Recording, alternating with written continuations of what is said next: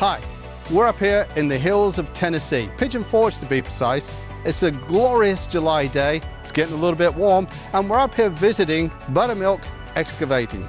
We're looking at their next gen 308. They purchased this machine with ease of use. So this machine has the house swing sensor, it's got the boom swing sensor, the stick sensor, and of course the bucket sensor. But we've added something else to the ease of use suite, and that is the laser catcher, an optional extra. By adding the laser catcher, it gives us another dimension to grade control. Now with the current ease of use, works great, especially if you're sitting still using earth reference.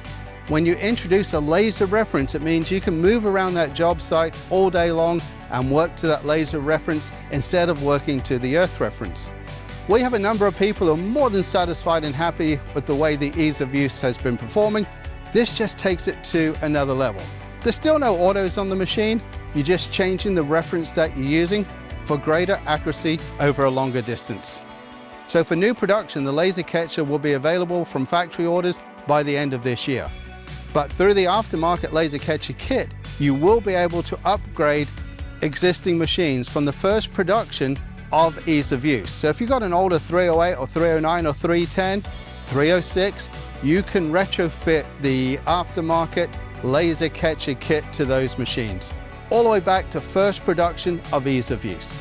Now ease of use isn't available on the 305 today, but we are adding the whole ease of use system to the 305 at the end of 2025. So look out for ease of use and the laser catcher, and for further information, contact your local CAT dealer.